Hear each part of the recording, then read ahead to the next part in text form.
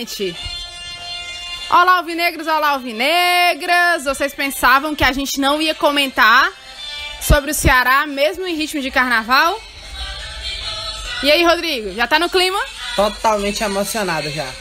Mas antes da gente curtir a folia, a gente vai falar sobre Ceará e Calcaia, esse jogo que acontece pelo Campeonato Cearense. É isso, Rodrigo? Exatamente, tem jogo. Parece que não, mas tem jogo. É. Sábado de carnaval. Geralmente esses jogos, esse jogo do sábado de carnaval é, é algo que sempre acontece. Virou é rotineiro, tradição, virou né? rotineiro. Dessa vez o Ceará enfrenta a equipe do Calcaia. Jogo no estádio Castelão, quatro e meia da tarde. Arena Vozão. Com transmissão da TV Verdes Mares. Esses são os Você detalhes. já em tá no clima de carnaval? Não, já tô quase Já lá. tá meio lento, assim. Já tô quase lá. a, a primeira Cacildes já foi aberta. E, gente, é o seguinte, agora falando sério, é o Ceará que passou do Oeste num jogo emocionante no meio de semana. Fala um pouquinho desse jogo, Rodrigo. Eu confesso que não assisti todo, que eu dormi. Porque me, eu estava muito cansada do trabalho. Mas você não perdeu nada, porque você perdeu o segundo tempo e o segundo tempo do Ceará foi muito ruim. O primeiro tempo do Ceará foi bom, o time teve o domínio territorial, a posse de bola em boa parte do jogo. Fez 1x0 com o Leandro Carvalho num belíssimo gol. Eu vi. tomou o empate numa, num erro individual do Luiz Otávio, né? Luiz errou, coisa que, que ele não fazia faz muito tempo. Tem gente que acredita a falha, que acredita uma falha ao Luiz naquele gol do Bahia, mas não dá pra acreditar a falha naquele gol do Bahia. Desculpa, eu acredito. Mas eu não consigo acreditar porque é uma dividida entre o zagueiro, o zagueiro chuta, o, atacante do Bahia chuta em cima do, Do Lima, Lima. bola bate no Lima e volta. Parece coisa de lance de sinuca, então eu, eu não consigo acreditar. Tá. Mas algumas pessoas acreditam, pra mim, os primeiros erros do Luiz Otávio na temporada, porque o primeiro erro foi no final do primeiro tempo, deu o gol, o gol de empate. E no segundo tempo o Ceará voltou muito mal, uma um comportamento dentro de campo medroso, acanhado, parecia um time totalmente desorientado. E aí, pra culminar com toda essa desgraceira no lançamento, o Luiz Otávio tentou fazer um corte, errou de novo, armou o contra-ataque do jogador do Oeste. E aí, o Ceará foi assaltado pelo árbitro da partida, porque a falta foi muito fora da área. Muito, Mas o gente. jogador do Oeste sofre o contato fora da área e dá uma tainha dentro da pequena área, aliás, dentro da grande área. E o juiz, de forma ridícula, patética, bizarra, pífia, como diz o Mauro César Pereira, marcou, um pênalti, marcou o pênalti e ainda expulsou o Klaus. Mas aí surgiu a estrela de outra pessoa. É, são ossos do ofício, né? Como diz o filósofo. Porque aí, no erro da arbitragem, surge o Fernando Praz, que foi o grande destaque do jogo. A cobrança de pênalti foi feita pelo Bruno Paraíba. Bruno que passou pelo Barbalho ano passado, marcou alguns gols. Mas ele perdeu o pênalti. Parou, parou, pensou, escolheu o canto, foi devagar, o Praz esperou por ele e aí ele chutou, ele chutou rasteirinho, com- sem muita força, o Praz conseguiu esticar o pé e tirar a bola. Quando o Ceará fica com uma menos, o goleiro pega o pênalti, o que que acontece? Como o Ceará é o time do sobrenatural, ele melhora dentro de campo. De forma que ninguém consegue entender.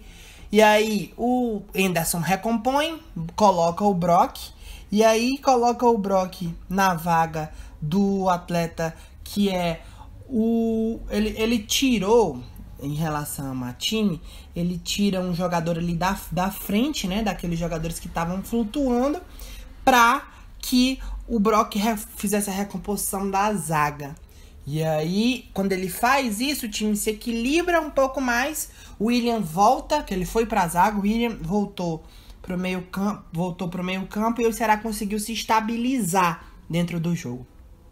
E dentro dessa situação em que o Ceará fica com uma menos, Lívia, ele perde chances inacreditáveis. Como Na sempre. verdade, uma chance é perdida de forma inacreditável. O Bergson debaixo da trave.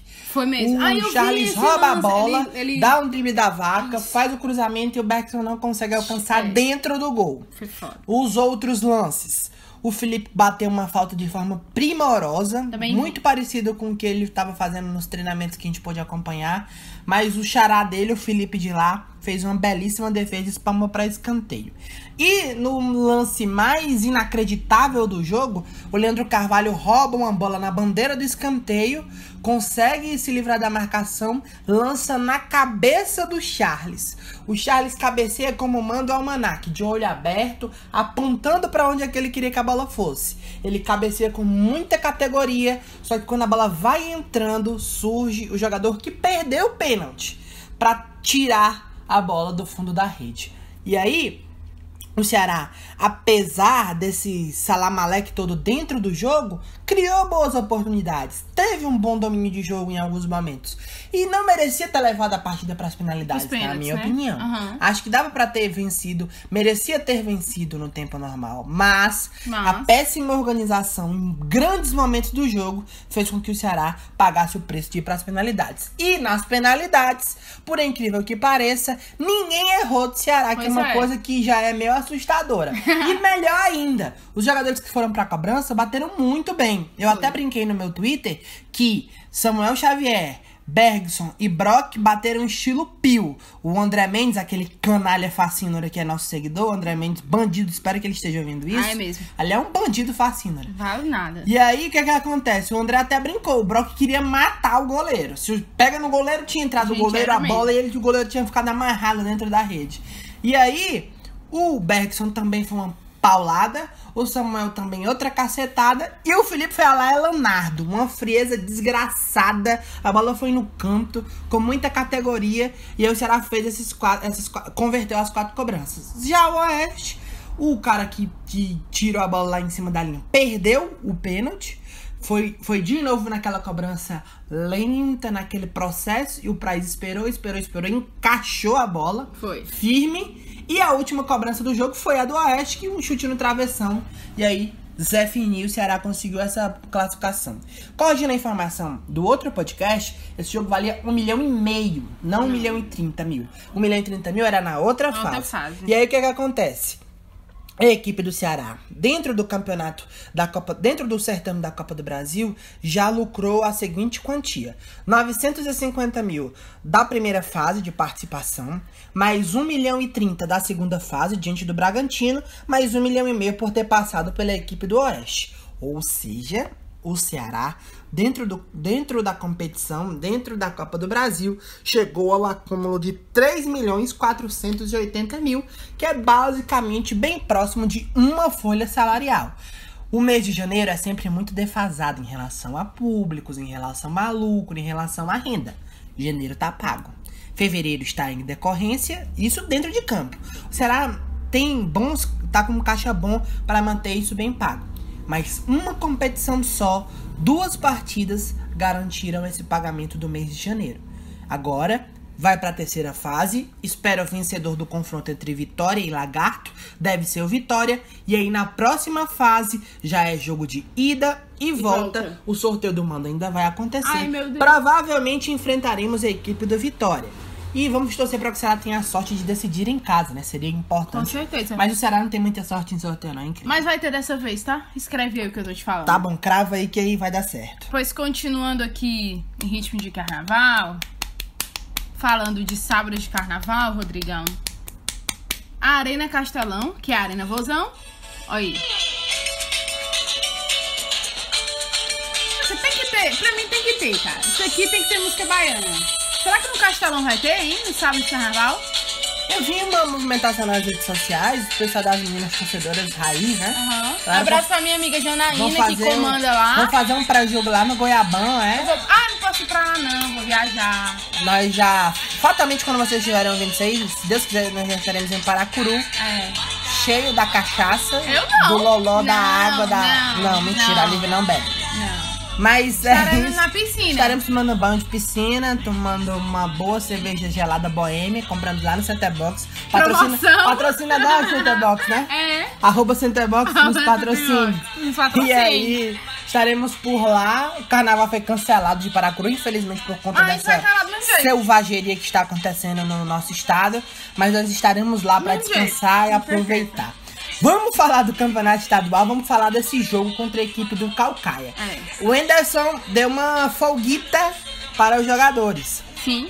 E aí é uma situação em que, para esse compromisso diante da equipe do Calcaia, o time deve ser todo reserva. E até o grupo que deve ir pro jogo também deve ser todo reserva. Porque a lista dos relacionados, inclusive, achei uma coisa sensacional. Eles divulgaram. Mas eles divulgaram, mas eu vou falar por que, que eles divulgaram e o, o, o cara que fez isso acontecer é o nosso ouvinte.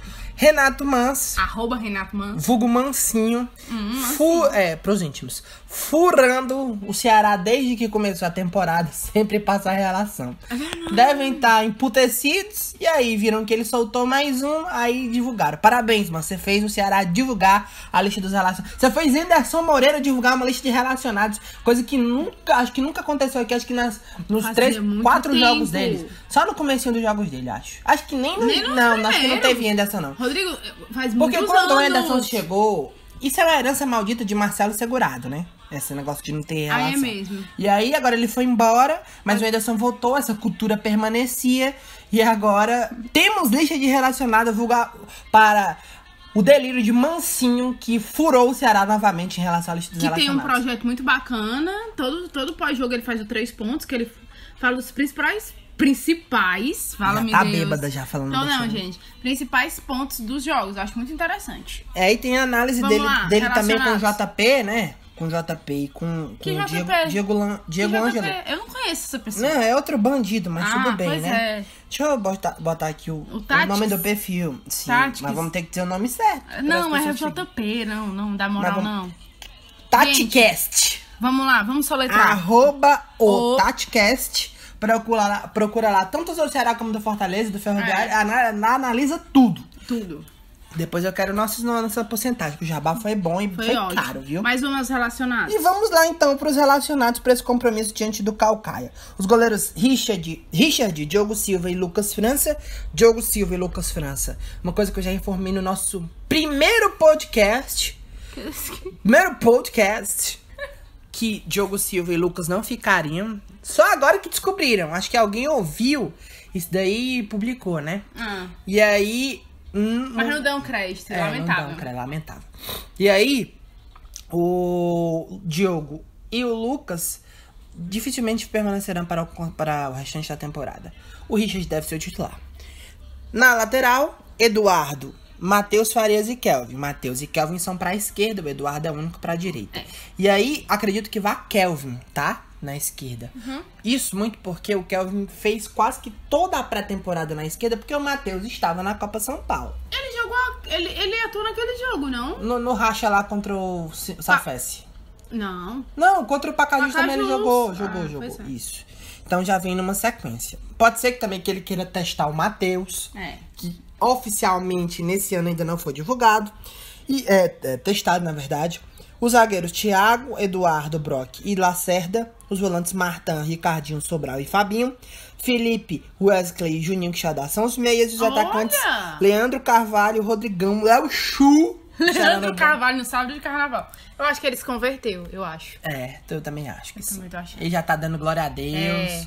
Fez gol. Eu disse, ó, foi. ele se converteu a fazer gol. Agradecendo ao Antero, um homem. Eu vi! Um homem tão mais. Eu achei muito bom ele, ele Um agradecendo, mais- que a narração dele sempre é muito vibrante, gente. Um homem mais celestial, Leandro Carvalho. Inclusive, ele passou seis minutos de entrevista. O Catribe quase puxava o Catribe. microfone da boca dele, da cara do Catribe. Bora, mas Eu termina. tô lá vivo, pô. Tem, tem um jogador do Oeste também pra dar entrevista, mas Foi enfim. muito bom, essa parte vai dar E aí, dentro dos relacionados, vamos pro provável time. Vamos, vai. Richard, Eduardo, Thiago, Brock e Kelvin, Ricardinho e Fabinho, Felipe Silva, Fernando Sobral e Matheus Gonçalves, Rodrigon, o centroavante dessa partida diante da equipe do Calcaia, mas que temos alguns Calcaia.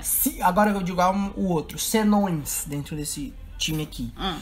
Será que ele vai querer testar o Matheus? Já que o Kelvin já foi testado contra o Pacajus? Não, chega. E será que ele vai querer colocar o Bergson por mais afinidade com o Bergson Do que com o Rodrigão? Do que com o Rodrigão. Essas são as únicas dúvidas em relação ao time. A gente vai assistir esse jogo, Rodrigo? Se a televisão assim, eu não sei, cara. Eu tô pensando aqui. Se eu tiver bem etilicamente, a gente assiste de boa. Se tiver uma televisão. O problema é a televisão. Se tiver uma televisão para assistir. A gente assiste, né? lógico. Né? Claro. É, a pessoa da vez mais devia não ceder uma internet grátis. Né? Globoplay a gente já tem, tá? Globoplay a gente tem. Se Mas a Globoplay passa ao vivo. O problema é ter internet boa lá. Por isso na- que eu tô pedindo pra vez mais ceder a internet É pra gente lá verdade, no Paracu. verdade. Não vai ter polícia, mas podia ter internet. Ei, né? vai ter, viu? Polícia? Não é assim, não. O quê? Vai ter os guardas lá, cara. Vai ter os guardas lá. O Estado está resguardado, sim. Viva o Estado. Lógico. Um beijo para Camilo Santana, esse grande homem lá do Cariri. Com certeza. Grande figura humana. Mas pra finalizar, Rodrigo, fala bem rapidinho o provável time. Vamos de novo? Sim. Vamos lá. Richard, Eduardo, Brock e Thiago. Na esquerda, Kelvin. Certo. No meio campo, Fabinho, Ricardinho. Nos três, Sobral no lado do campo, Felipe centralizado. E aí tem a possibilidade, pelo menos assim, que eu acho, é Felipe, Sobral. Aliás, Sobral, Felipe, Matheus Gonçalves, Rodrigão. Esse é o Ceará pro jogo contra a equipe do Calcaia. Então, gente, é o seguinte. Nós estamos aqui, né, já em ritmo de carnaval, mas a gente tinha que falar desse jogo, tinha que falar também do jogo do Oeste, por motivos, motivos técnicos, não conseguimos fazer o pós-jogo do Oeste logo depois da partida, que foi bem emo- emocionante. Mas aqui estamos dando as nossas pinceladas aqui. Na quarta-feira, na quinta-feira a gente volta? É.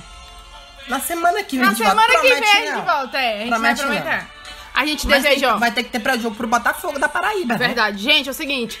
Não é Só pra não. finalizar, hein?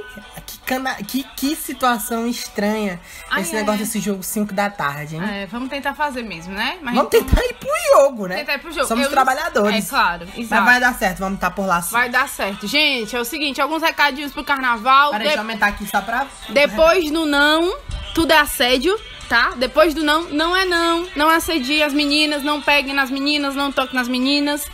É sexo com camisinha, beba de forma consciente. Beba água. Beba água, se hidrate. Se beber, pelo amor de Deus, não vá dirigir.